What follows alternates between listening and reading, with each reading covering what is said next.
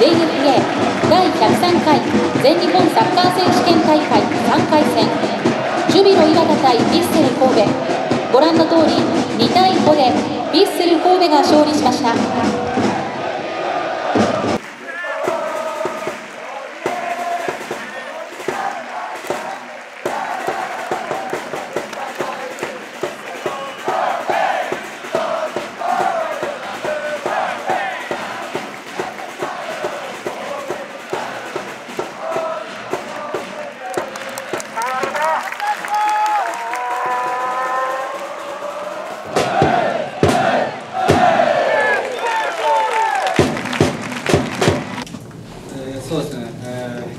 まあ、違う、いつもとリーグと違う大会でしたけど、えー前半から選手たちが集中して、えーいい形で前半を終えたので、えーこういう形で、えまあ、5対2というスコアで勝ったんじゃないかなと思います。まあ、失点に関しては、まあの防げる失点だったと思うし、そこは修正しなきゃいけないと思うんですけど、まあ、こういうトーナメントはまず勝つっていうことが大事だと思うので、しっかり結果を出せたことは、えー、良かったと思います。川崎選手お疲れ様でした。今日スタメンで試合起用されましたけどもどういった意識で試合に入られましたか？まあ、僕はゴール、アシストっていう数字に残る結果っていうのを出す前提で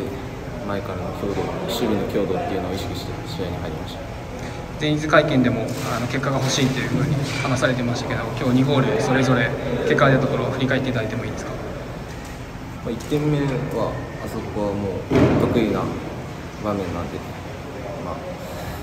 練習でもある形なので練習しててよかったなっていう感じです。2点目はかなりこうなんですかね美味しいじゃないですけどあの2点目でしたけどどういうふうにあの辺にポジションを取っていくっていうのはどういった意識だったんでしょうか？まあ、コーナー相手のキーパー前で立って、まあ、あんなゴールは僕自身初めてなんで、まあ、ああいうゴールもできて嬉しいなっていうのがあります2ゴールで取りましたけどこれからすぐリーグ戦もありますがどうつなげていきたいでしょうか？まあ、リーグ戦でもゴール、アシストっていう結果を求めてまたやっていきたいなと思います。ありがとうございましたお疲れ様でした斉藤選手お疲れ様でしたお疲れ様です。まず今日の試合振り返っていただいてもいいですか？そうですね、いい立ち上がり、入りができて、得点もできて、前半、まあ、4-0で終われたのが